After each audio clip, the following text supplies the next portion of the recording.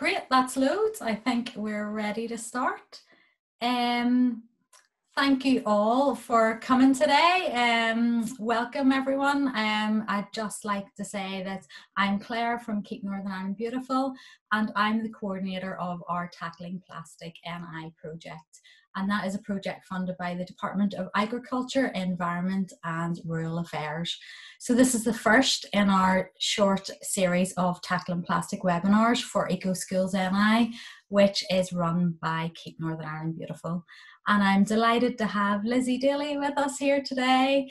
And um, many of you will know her already and um, she also was a speaker at our Eco Schools conference last year.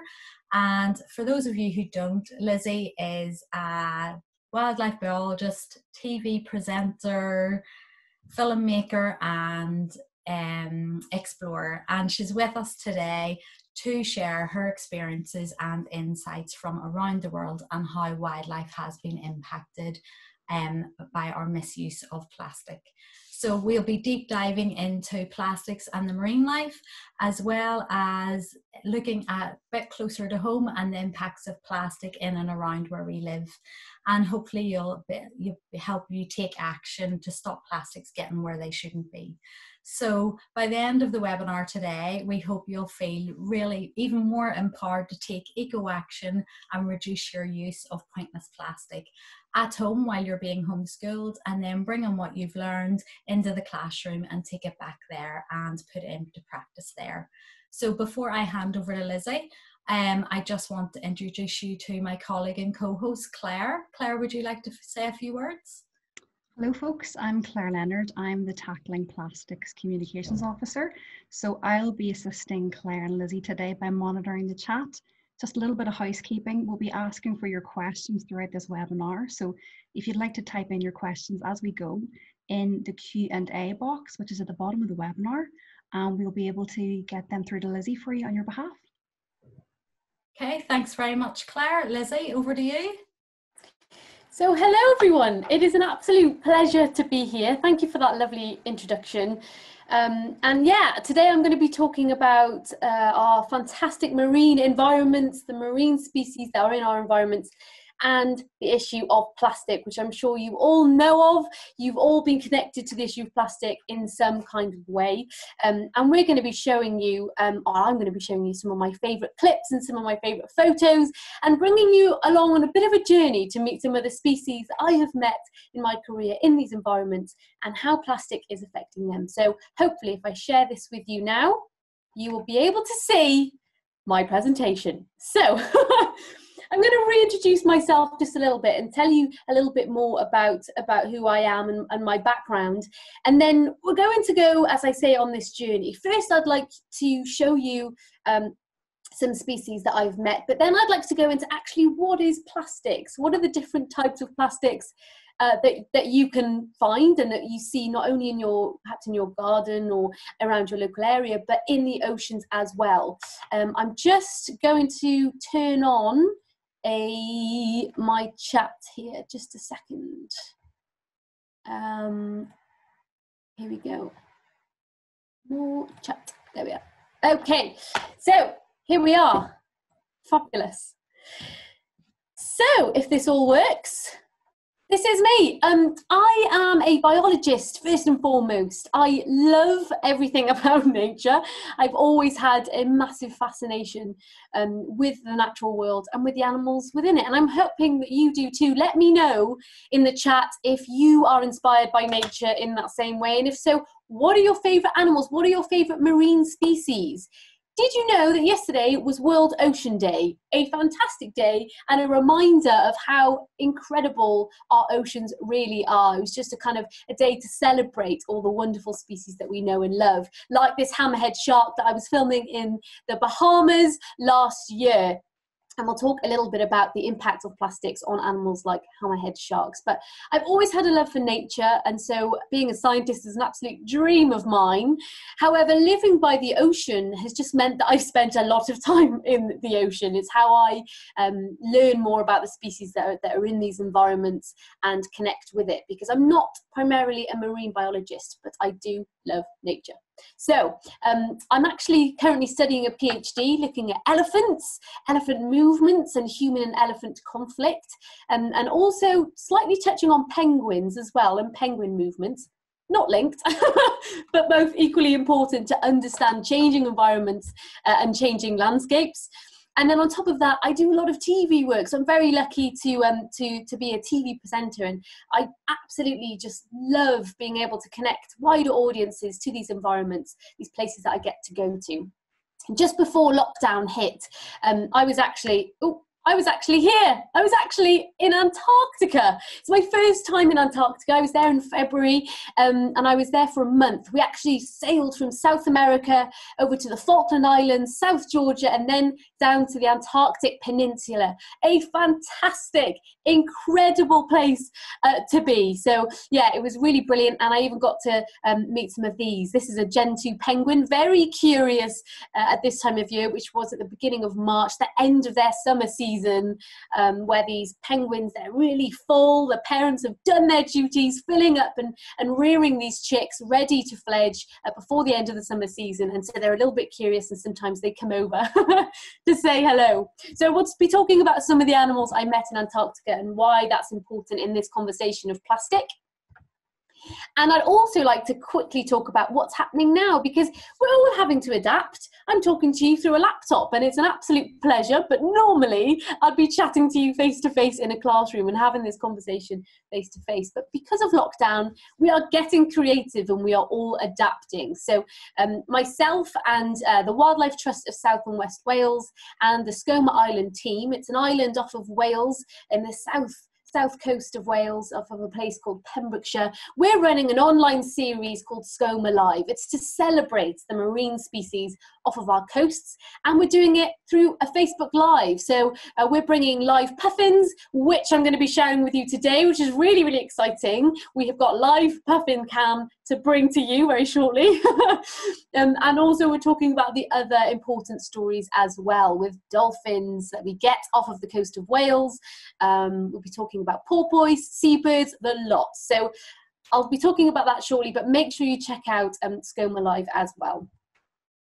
So let's talk about our planet, this beautiful blue planet, which it absolutely is.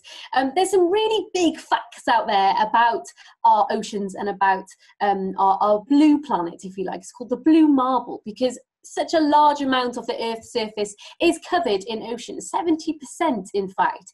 And to think that most life on Earth is actually in the ocean. There's still so much we haven't explored. We've only explored about 5% of the ocean, which is just still a crazy fact. I mean, have have a let me know in the comments if you have actually um, heard that fact before. And it's this mystery about the ocean, which is just still so inspiring to think we still have so much to explore. And of course, within the ocean, there's huge, huge um, marine habitats of different varieties. The Great Barrier Reef, the largest living structure, about 2,500 kilometers wide. It can be seen from space. And within the ocean, we have lots and lots of different species from fish to some of the more charismatic species like our whales, which we'll be talking about today, and even the fantastic small ones, which you may not even think about the crustaceans, the crabs, the sea slugs, the nudibranchs. So let me know what your favorite marine species is, please. I want to hear it. I think my favorite is probably the humpback whale. Quite iconic, very charismatic, but they're a fantastic animal that I've been very lucky to meet across the world. So we are very lucky to have the ocean. On top of that, we have lots of species within it that move into different areas. So you may have heard of different oceans and different seas Pacific Ocean, Atlantic Ocean, Irish Sea. Red Sea, and species of different uh, groups um, move and migrate over big distances. So you may have heard migration before, and migration is basically the seasonal movement of an animal from one place to another. Let me give you an example. So um, if you were sat at if you've got two windows in your house right now, you're sat at home in lockdown, you want to see some birds, and you're at one window which at the beginning of spring uh, has a tree kind of covering it but without any leaves. So as your spring goes on and you're looking out for birds and you're seeing what garden wildlife you can see from your window, those leaves start to grow over that window. well, now you're not able to do what you want to do, right? So you have to move somewhere else. So it's essentially the same in the natural marine environment. If there is, is a resource, or perhaps they, they move for food, or it's a better habitat, the environment, perhaps it's to mate, these animals migrate over d- different distances across oceans um, for that particular reason. So oceans are all connected across the planet and this is why we all need to care for our oceans and a, a lot of us as humans rely on the ocean in fact do this with me ready we're going to have a breathe in and a breathe out okay everybody so breathe in and again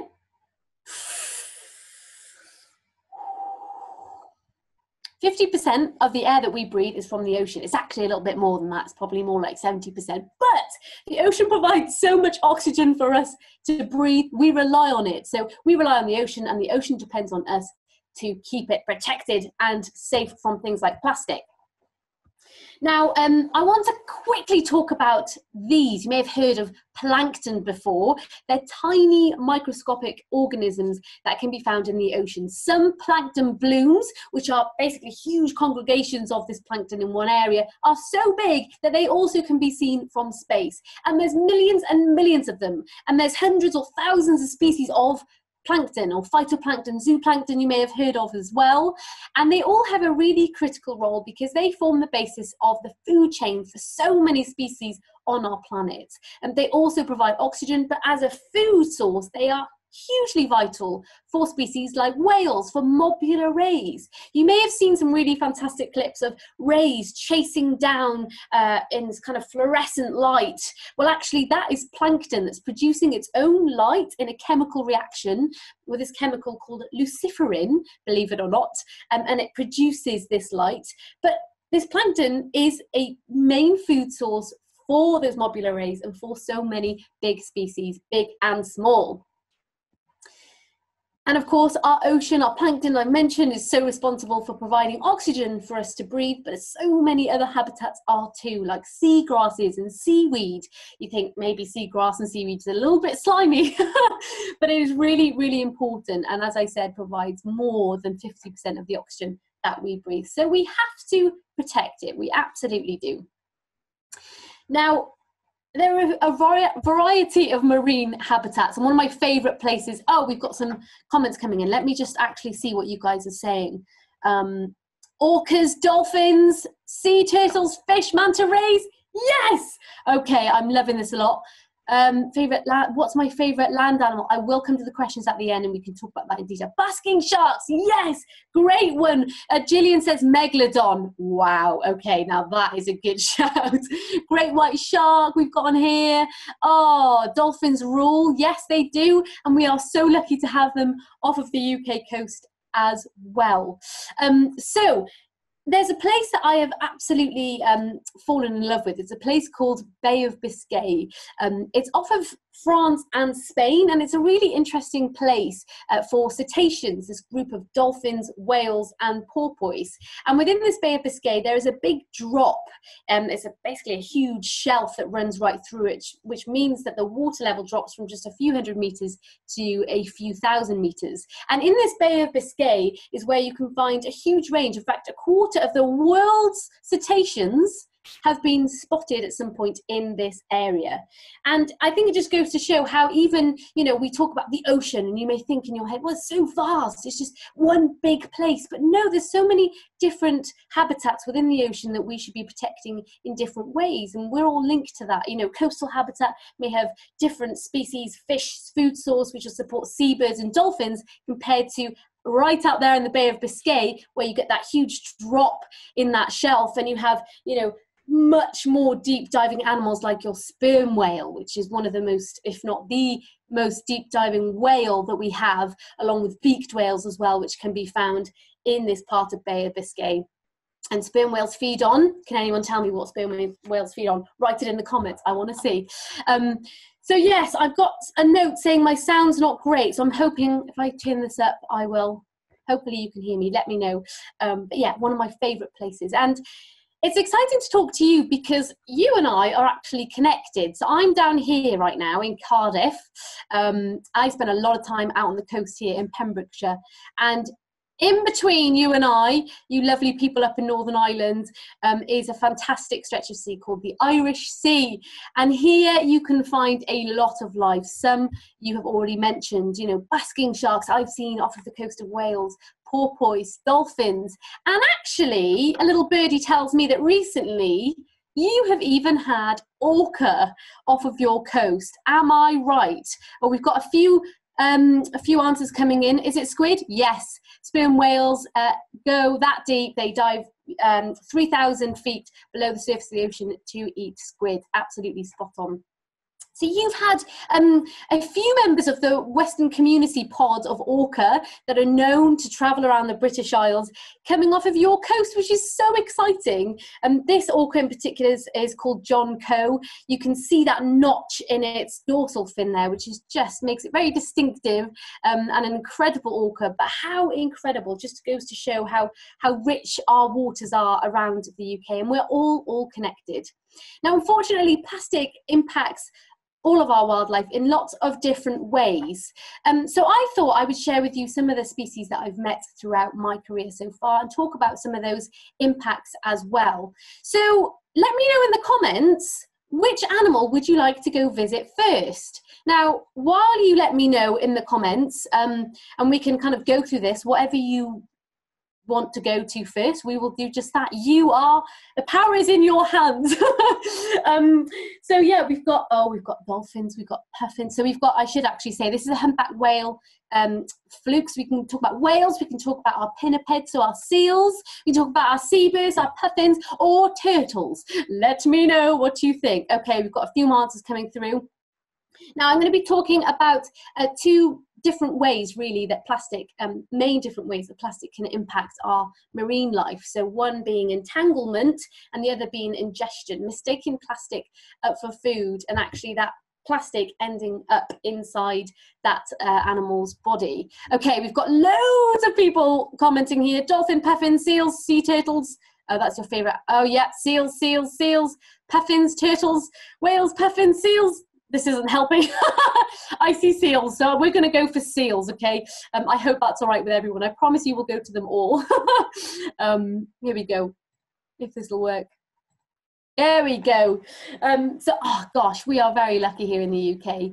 Uh, we have the common seal, um, also known as the harbour seal or the grey seal. And the grey seal I've spent a lot of time with in the water here. Here in the UK, we have about 40% of the world's population of grey seals, and they're so curious. They're a fantastic species. Um, they are what's called a true seal. So if you think about our seal groups, some, like our sea lions, um, are called eared seals. And then we have groups like our grey seal, which are called true seals. And one of the ways you can tell the difference is by looking at their ears, funnily enough. So I have a clip that I'm hoping you can see. This is uh, off of um, the coast of England where I, I was so lucky to swim with these curious grey seals. And you can see how curious they are. They don't have hands like you and I. They can't pick up a glass of water, for example, like this. So instead, they use their mouths to explore. So you saw that uh, exploration with its mouth on my on my fins there.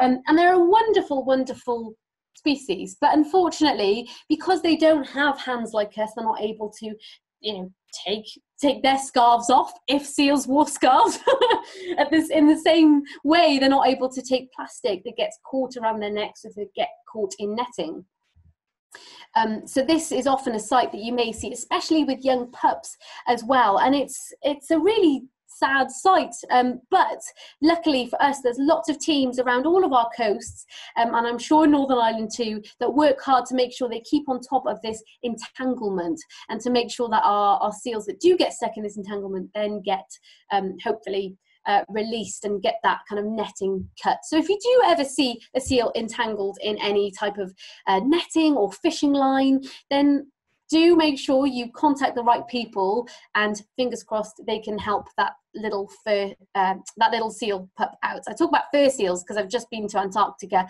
and there's a number of uh, seal species or pinnipeds that you can see. This group of seals and sea lions that you can see um, uh, in antarctica one of which is this this is one of my it was one of my go-to animals to see because they have quite a reputation as a bit of a predator.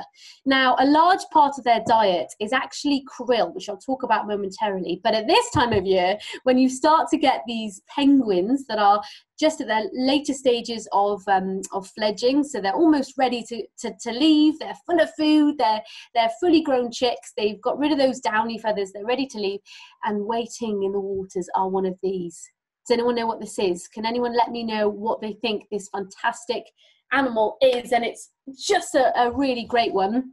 Here's a clip of one in the water. Hoping you can hear this. Let me know if you can. So this is our boat. This is the boat that we were in. This is, I'm, gonna, I'm just going to tell you, I'm too excited. this is a leopard seal. And these seals are absolutely enormous. And again, you see that curiosity as they come in with their huge, huge mouths. They have this really big jaw, leopard seals. And if you actually look at their teeth, you can see how they are adapted for eating krill for most of their lives because they have these what's called tricuspid teeth. It's basically a tooth with a, three notches to help filter out krill from water, which uh, most people think, oh gosh, they're big predators, they eat penguins most of the time. But actually, they don't. It's krill that makes up a large part of their diet. And scientists now are even suggesting that perhaps tiny, tiny fragments of plastic can even be found in krill. So plastic is getting everywhere, even in extreme regions uh, like Antarctica. But what an animal! And um, talking about uh, entanglement and, and marine litter, um, we've already met this fantastic hammerhead shark, and I've spent lots of time with sharks um, uh, out in Bahamas when I was there. We swam with uh, Caribbean reef sharks, hammerhead sharks, a glimpse of a tiger shark, just an incredible experience. But one of the things I noticed was the hooks in the faces of these sharks. And that's often we see that across the board with a lot of our bigger marine life is they get hooks stuck in their mouths. Perhaps if they go to, to feed on um, on baits that's been left over by fishermen. So that's a really big issue. And someone out in the bahamas is addressing this directly. Her name's Cristina Zenato. You may know her as the shark whisperer. She's a fantastic female conservationist, and she's dedicated the last 20 years of her life removing the hooks from these Caribbean reef sharks' faces to try and help with the issue of marine litter. How are we doing on time? Whoa, I have so much to show you. I need to hurry up. so this is Cristina. Um, just an incredible experience. I'm loving some of you. Hammerhead, so cute. Yes, brilliant. Um, we've got I Love Sharks from Matthew. Matthew, I Love Sharks as well. Great guesses with leopard seals there. A few of you getting that right. Yes, so um, we see marine litter entanglement as an issue with species. Right, let's move on to the next one. Let me know what you would like next. We need a bit of a, a music in between this, don't we, to kind of get us going for the next animal. Anyone want to tell me what they'd like to see next. Um, we can have puffins live. We can quickly see a video of a humpback whale. We've got turtles, we've got turtles, we're going to turtles. Here we go. So I'm actually going to, dun dun dun dun dun.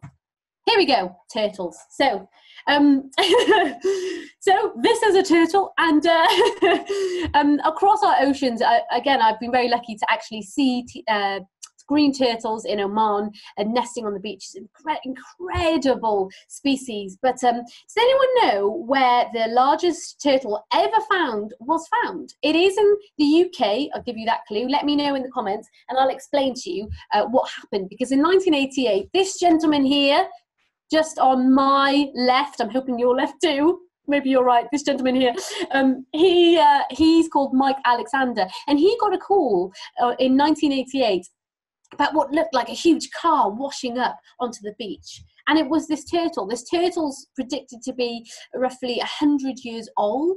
It was almost a thousand kilograms in weight. It's an enormous turtle. It's the largest one ever to wash up. So, any guesses on where it washed up? Um, and unfortunately, even back in 1988, this turtle actually was found on this beach because it was found to have ingested plastic. So, a large part of the turtle's diet um, is does anyone want to guess? I'm testing you guys. UK, yes, it was in UK, the leatherback turtle washed up, but where?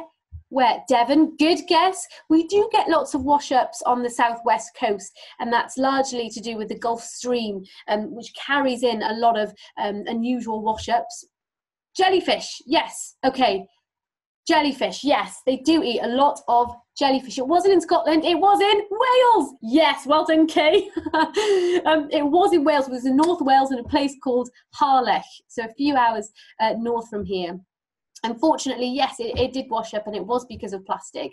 Um, and it's now in a museum and it's used for education. An incredible turtle um, that washed up here but perhaps something that you think is a little bit unusual. Now the reason why um, plastic bags are an issue because they look very similar to jellyfish if they're just wafting along in the ocean. And on the right here, this kind of gruesome picture is of the inside of a leatherback turtle's mouth.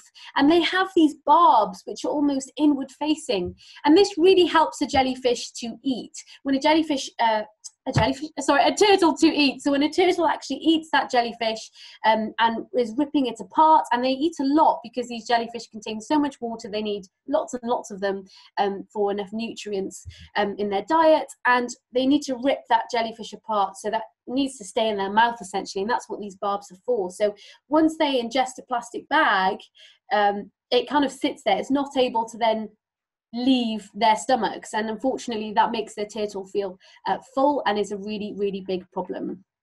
Yes it's not it's not too nice. Um, so yeah so as i said that that turtle's now in the museum. Mike alexander is a fantastic conservationist um, and i myself have seen wash-ups off of wales. In fact i know that you in northern ireland had a wash-up of a loggerhead turtle as well. Um, again be brought in because that gulf stream. But you guys whoever dealt with that loggerhead turtle um, did a really fantastic uh, recovery program and it survived. So that's fantastic. Unfortunately this Kemp's ridley turtle which is a, a, critically endangered species that washed off of wales i got a call about it off of the uh, south coast of wales um, didn't make it. So we still don't know the cause of death as of yet but we do get wash-ups of turtles here in in britain quite not quite regularly but um, you know it's not completely rare now, I talk about jellyfish, and one of my other favourite animals, or I should say, organisms, are jellyfish. They are fantastic. And um, I had this encounter last year with a giant barrel jellyfish off of the coast of Cornwall. Let me know if you have seen uh, this footage or a picture. I should actually show you this picture that I've got here.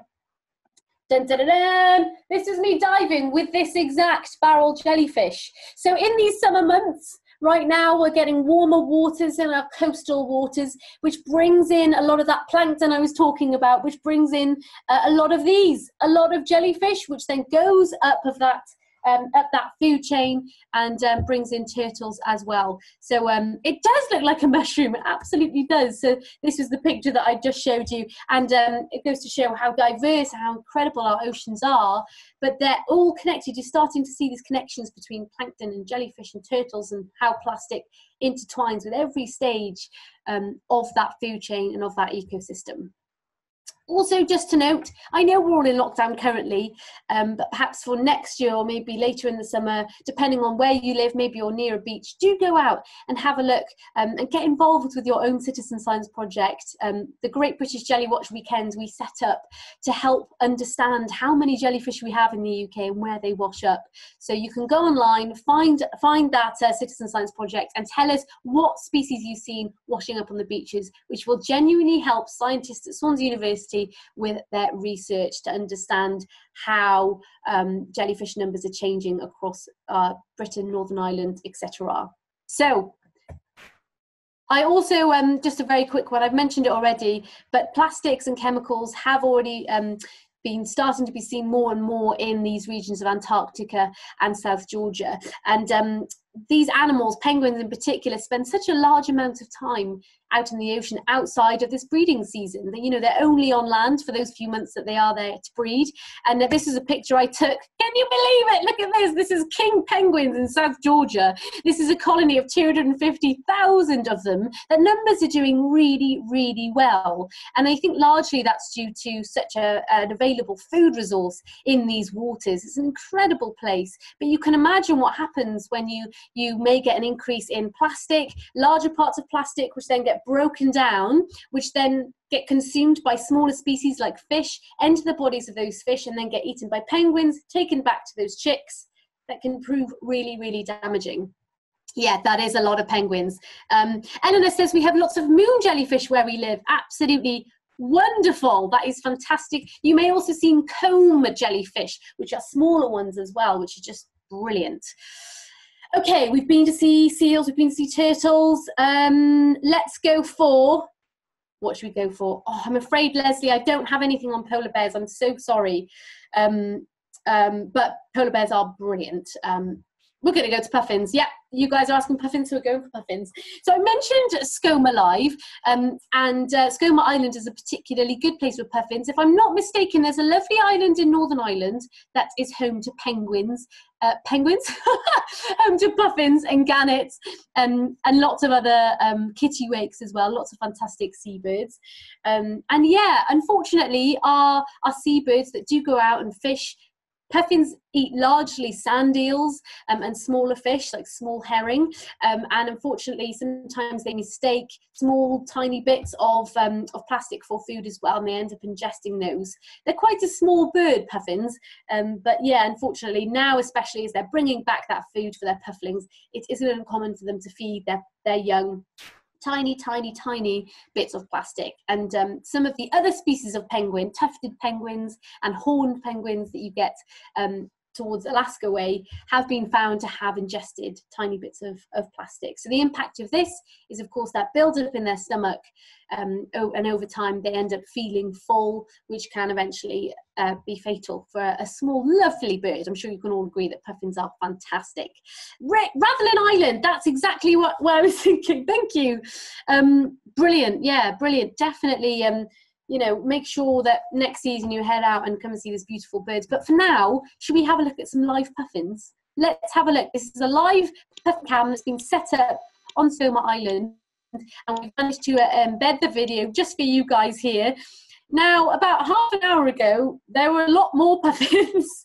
um, there are still plenty there, actually. Um, so yeah, so as you can see, this is a place called the Wick. It's one of the best places to see these puffins on the island. And right now, the main thing that we will be looking for is this bringing back of sand eels and monitoring of um, perhaps they'll be bringing back materials as well. You can see in the in the landscape, just on this massive hill here, there's lots of holes. And these puffins actually live in these burrows where right now there's already been confirmed there are puffins on the island. And one of the things you'll see as these puffins move around is they'll often be cleaning out their burrows. They're very clean and they'll be bringing back small bits of nest materials. Sometimes they do have bits of plastic in their mouths, and sometimes that's the case as well when they're coming back, um, unfortunately, with their food. But how incredible are they? And you can watch this all day long, as I do, um, all the time. And um, I've got a few um, comments saying that I'm breaking up, so I'm very sorry if I am. Um, I will keep going for now, and hopefully, when you watch back later, if you've lost me, it'll be a bit clearer. Um, so yeah, so brilliant, absolutely love them, but unfortunately, they also experience a lot of issues with ingesting plastic. Here we go. Next. and this is a video that I took um, off of the island of Noss up in Shetland. It's of lots and lots of gannets. Um, we're very lucky to have big, big breeding populations of gannets across islands, uh, many islands across the UK. And uh, something I have seen directly, in fact, on this day when we were out filming, um, we actually saw a gannet that was entangled in what looked like fishing line and bits of other bits of plastic hanging off of it. And something that I want you to try when you're at home now, all you need is one of these, an elastic band or a hair tie or similar. And um, imagine if you're a bird, so put up your hand and get your hair tie or your elastic band and actually tie it around your thumb like this and then round your little finger, okay? No, I'm going to do the other way. I've done that wrong. like this. Here we go, round the back. So that's basically meant to show you that's what may be a gannet having a bit of a plastic around its neck. And something to try at home. Some of you may have really kind of be double jointed, um, but I definitely cannot get that off. And just try and try and imagine what it must be like. Try and get that off if you can. you can see me struggling for about 10 minutes. Oh, I honestly, I've tried this very many times, but it just goes to show you how tricky it may be for um, an animal like a gannet you can't actually access to get that entanglement off and what that must be like and how that can be um, really a bit of a struggle for animals like these beautiful gannets. Okay, So, and we're going to go to our whales and I, I, it's going to be a very brief one because already I'm, I'm way over.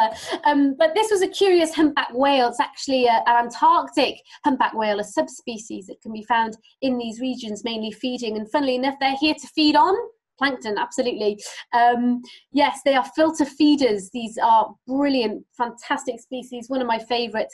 Um, and unfortunately one of the main problems for these beautiful creatures is entanglement as well. And like i just showed you with that hair tie is that uh, these animals are very mobile. They migrate over huge huge distances. And so they need that movement in their tail with that fluke that they have to travel these big distances which can prove really really tricky.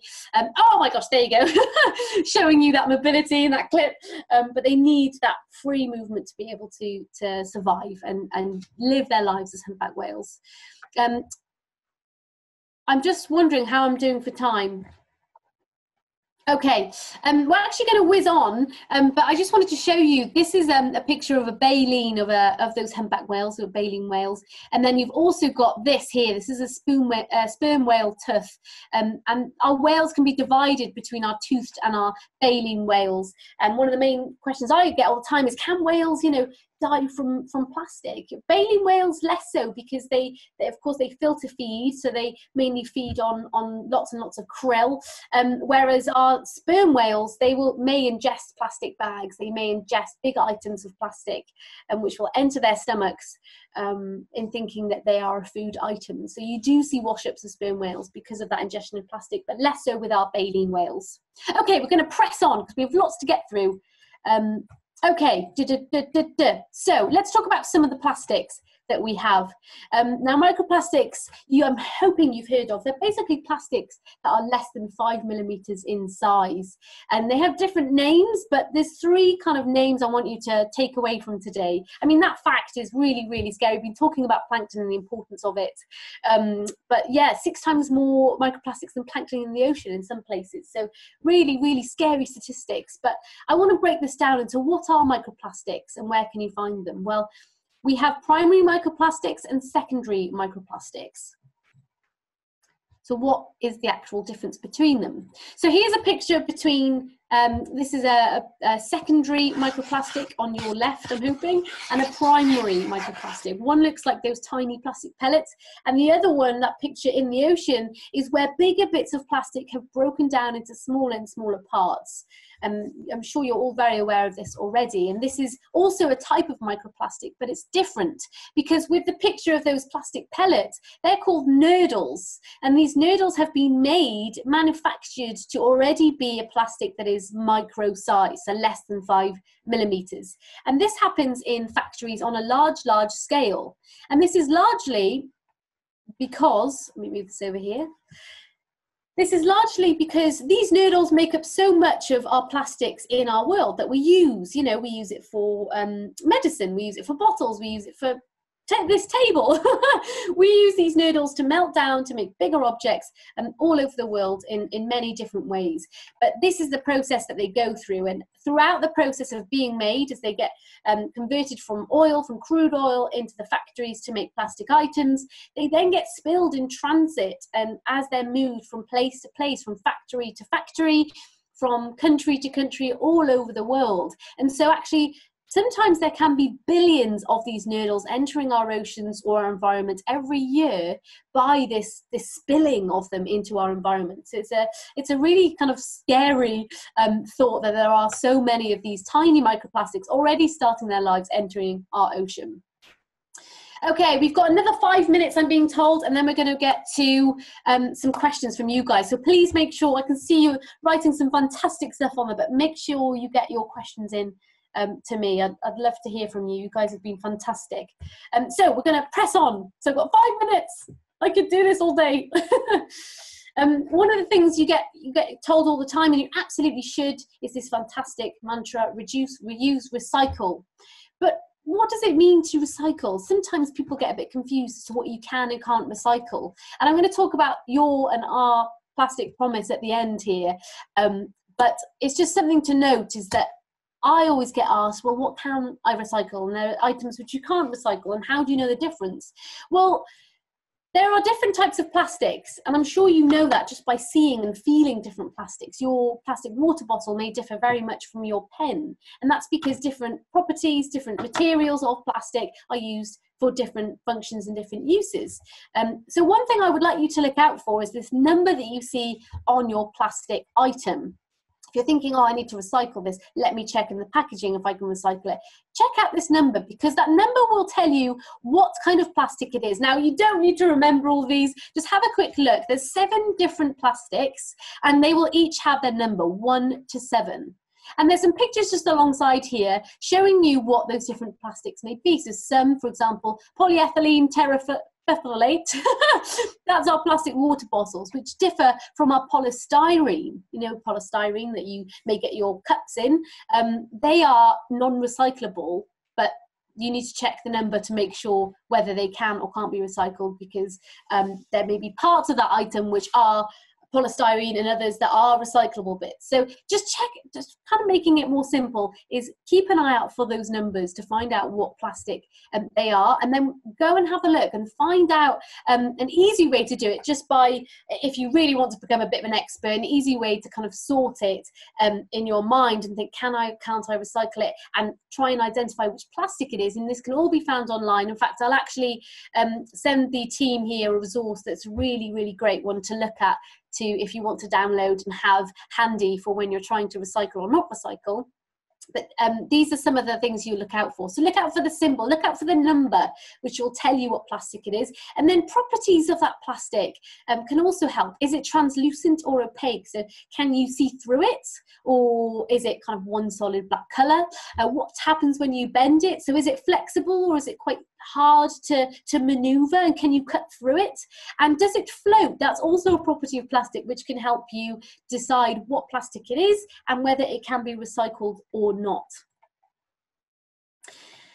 And I don't have loads of time, but of course, um, I've talked about the the environment and how plastic is linked with that. But we are ultimately part of this environment too. If you think about the obvious food chain, we've mentioned food chains at numerous points, but um, algae, which is eaten by small organisms like krill or plankton, um, may end up containing plastic that's in the environment, which is then consumed by larger species like fish. And I don't know if you eat fish, perhaps you do, but this fish and some of this food actually sometimes ends up entering our body as well. So, this is absolutely something that we need to think about um, as well, not just because we love the ocean and we love whales and we love dolphins, but because it has a direct impact on us as well.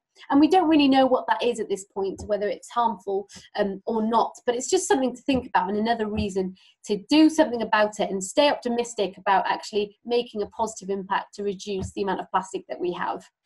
Um, okay, we're going to have a very, very quick ocean quiz time and then um, we've got a great fact coming in from Libby. Do you know by 2050 there'll be more plastic than fish in the ocean? Yes, I've read that. It's a really hard, hard um, uh, facts to listen to. But quickly, um, and then we're going to have questions after that. But I'd like to do a quick ocean quiz. So this is what you're going to hear.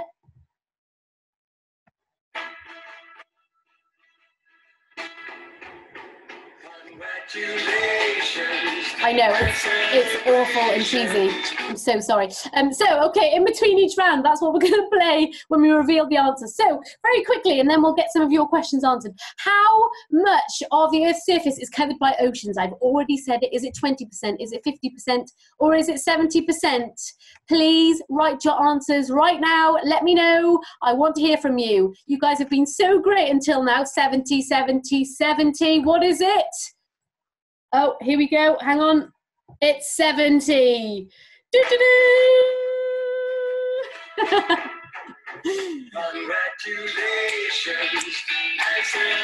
okay, uh, enough about that. Okay, moving on. How long have turtles been on the earth? Is it 250 million years? Is it 2 million years or 2,000 years? Um, well done, Libby. Well done, Matthew. Well done, Anna. Okay, have a guess, have a guess, have a guess. 215 million years, 2,000 years, 215 million years. What's the answer? 215 million years! Congratulations. Okay, enough of that. We're going to move on. And um, what giant jellyfish species, I should have put in there, did I dive with? Was it a barrel jellyfish? Was it a moon jellyfish? Or was it a comb jellyfish? What is it? tell me. Oh, you guys, you guys are too pro. You are fantastic. I've got to say, that is brilliant. oh my gosh okay we've we've kind of done a whistle stop tour. Um, i would just like to quickly finish um, by saying a massive thank you all for tuning in. We'll get some of your questions answered but before i do um, ways that you can you can help and ways that you can get involved with i'm hoping you are all you seem to be completely savvy on this already um, but little swaps that you can actually change um, day to day to help with the issue. Swap that plastic bottle for a reusable one. Um, you know we have so much plastic in the environment already. We need to actually just stop producing it. Um, swap cling film for beeswax um, wrapping, which is a which is a really re- great reusable wrapping that I use for my sandwiches regularly. Um, and we use so much cling film in the world. It's a small item um, you don't really think of, but um, yeah, one that we absolutely just need to say no to. Of course, straws is a big one. Um, make sure you either say paper straw please or just no straw at all which can stop that demand for plastic straws. Um, i've seen a few balloon races recently. Why not just blow some bubbles instead? It's a really great alternative and will stop you know those balloons entering our oceans and being really harmful for those animals like our turtles. And this is one i just wanted to quickly talk about um, because i've been watching the lovely garden birds since i've been in lockdown and some have had plastic in their nests. A great way of helping is leaving out a little bit of your hair from a hairbrush in a tree. At the beginning, when um, spring was in full swing, these birds were out collecting feathers and materials for nests. So if you leave out a bit of hair, it can actually help and will stop them looking and picking up um, plastic, hopefully. Okay, right, I'm so glad you've all enjoyed it. We've got some lovely people. Matthew saying, Cool. I'm glad you think so. Oh, Claire's a beekeeper. Fantastic. Oh, Emma's loved this lesson. That's really, really great. Um, okay, so can we get some of your questions on here? I'm going to make this big so I can see some of your questions coming in. The team, um, let's have a look. Uh, Shall I scroll back up, team, for some of the? There's a great question. El- um, Eleanor has asked Lizzie, "What difference do we make when reducing our use of plastic, when it seems the worst culprits are big industries?" That is fantastic. Question, yeah, that is a really good question, and I'm, I think one of the best things about um, you know there's so many of us on this planet and lots of small changes that may feel insignificant at the time but lots of small changes ultimately make a big global difference. And it may be you head out for a weekly beach clean or monthly beach clean but that plastic has then been removed from that environment. You're absolutely right. We need to see change um, up through the the the chains if you like you know government and we need to see businesses stepping up uh, as well. But your difference will still make a really really big difference. And it may feel like you know you've just gone out and done a small part but it's lots of people doing um, small things um, is a lot more important than than one person um, doing one one big thing if you like because there are so many of us that can make that small difference and make that big positive impact. So um, yeah i'd highly encourage you to, to to go for it. Stay optimistic. Your your bit will definitely make a difference Leslie or Lizzie, the next question is from Leslie. What is your favorite land animal? Oh, that is a good question. My favorite land animal is oh, it's bad. I'm going to say it. It's um has to be an African elephant, just because that's what I'm focusing on for my research now. Um, they are incredible. The largest land mammal on Earth. They're a beautiful species, very charismatic, very intelligent, um, and yeah, the African elephant. And to follow on from that, Nicola has asked, What's your favorite sea creature? I know it might be hard to choose just one, Lizzie, but what's your favorite sea creature? favorite sea creature. Okay. Um, do you know one that I've I've really kind of found fascinating recently are the nudibranchs, so our sea slugs, just because there's huge, huge variety in what they look like. They're very, very colourful. Um, you can find them if you go, you know, diving and looking amongst um, perhaps seaweed, especially off of, of, Wales, and I'm sure Northern Ireland too. In fact, there's a place, there's a marine conservation zone in that Irish Sea stretch that I showed you in that picture earlier that's really well known for nudibranchs and it's got really great places for those important habitats like seaweed and and small corals. So yeah, nudibranchs. If you don't know what they are, have a look online. They're a fantastic group of sea slugs. I'm so bright. I'm just going to shut this. There we are. Lizzie Sam has asked, how did you become interested in marine environments and especially microplastics? Great question. Um, yeah, so I I have always I love the ocean and just spending time in the ocean has been has played a huge part of of my interest and fascination and uh, in it. So I mean I've always my family would we go out to the coast of Pembrokeshire and spend time in the ocean or near it and exploring the coast and I still do now and it's just the more I spend um, the more time I spend around these environments the more precious they are if you like and of course the unfortunate side to that is that you do see microplastics in these environments. So all of a sudden you want to know more about what is the impact of this and and how common are they? And unfortunately there are microplastics across all of our beaches. So again if you want to make that difference you know if you're out on a beach just why not do a two minute beach clean? Super easy way to, to to keep your beach clean and take those microplastics out of that environment and keep it looking fantastic and on the back of that, this is another brilliant question talking about, you know, beach combing and keeping our shores clean. yeah. I'd like to know what part of the ocean is most polluted. Mm. So um, you may have heard of the the five gyres. Um, they're like these big areas of the ocean where essentially the huge currents bringing, and it's kind of called this plastic soup. Um, you will have seen various different names for it. I think the, the biggest one is out in the Pacific.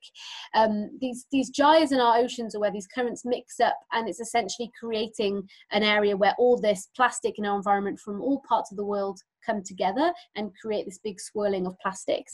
If you were to go there, you wouldn't see, you know, a, a massive, you know, plastic bag and a plastic bottle because it's all broken down into smaller and smaller bits. Um, however, you know, to, to, our human eye, because of how the currents work, you, you may be like, this has got a higher concentration of plastic. But in terms of what part of the ocean has the most is quite hard to know, especially as we have yet to explore, um, especially uh, the, the deeper areas of our ocean. So, um, who knows? You know, the, the Mariana Trench, um, you may have all heard of the deepest part of the ocean, 11 kilometers down, um, hardly explored. I wonder how much plastic is down there. So, can't say for sure, but if you if you are kind of looking to really understand what happens when our plastic breaks down and travels across all these connected oceans, have a look at the, the gyres that we have.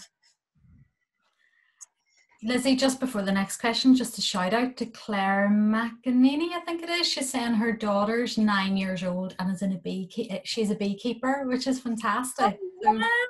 yeah, oh, oh, well done! That is that is really brilliant. Funny enough, this morning I was um there's a a, a, a bee um, hello honeybees have moved into a local ash tree. Um, oh. absolutely love bees, important pollinators. So well done. That is awesome. Well done, Claire.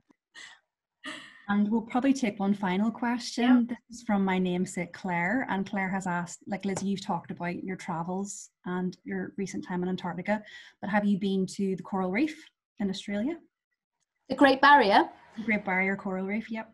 Yes, yeah, the Great Barrier Reef. Uh, no, um, I I haven't actually. I mean, I've I have been to Australia, um, but haven't spent much time in the ocean um, around there. No, I would absolutely absolutely love to. It's it's almost like the the poster the poster child of the uh, of all the coral reef systems that we have on our planet. You know, the largest one. Um, obviously being the Great Barrier. But we here, here even in the UK and around our waters um, and Northern Ireland, have some wonderful corals. So, you know, it's so easy to, especially as I've listed so many places that I've been to, it's so easy. Ian says Google says Hector's dolphin is the smallest and the rarest. There we are. Um, gosh, I should have known that. I've actually seen Hector's off of New Zealand, so fool me. I'm so sorry. Um, but yes, the um, I was just going to say it's so easy to jump on kind of all these different places across the world, but I think especially as we're all in lockdown, one thing that we've learned is that um, yeah, exploring the nature on your doorstep is so important, and and valuing that and seeing how incredible it is. And we're very lucky to have the wildlife that we do here. So I would recommend exploring what's on your doorstep first, definitely. Great, thanks so much, Lizzie. Um, should, we do the plastic promise? Have you got your wee slide there? Yes. Yeah. Absolutely. Um, this is a great one. Um, I don't know if you can still see my screen, but this yeah. this slide is also very relevant. Um, and I'd say my plastic promise is is um, I try and do a, a regular beach clean, and actually whenever I'm out and about, I will if I'm not if I'm not you know uh, running around, then I will take a bag and I will make sure that I pick up plastic. If I see plastic, I will pick it up. Sometimes you you can't, otherwise you'll end up coming back with uh, a bag big bigger than you. But just I guess um, in, when you're heading out, if you're going into the environment, take take an extra bag in, into a woodland or on the beach, whatever it is. Take that bag and and maybe do a two minute cleanup. Um, and that's my that's my plastic promise and has been for a while and i will continue to do that as well as keeping on top of what can be recycled and what can't. So um, yeah i would recommend everyone to watch um, who's watching to go to that link that's on the slide here and um, let me know what your plastic promise is and make sure you you submit it as well. It's really important Brilliant. Thank you so much, Lizzie. That was so interesting and really, really inspiring. So, thanks so much for jumping on with us today. We really appreciate it. And thanks to all the participants for getting involved. That was really, really good. Please sign, add your plastic promise, and look out in our Eco Schools NI Facebook page for more webinars coming up like this. So, thanks very much, everybody. Bye. Bye. Bye.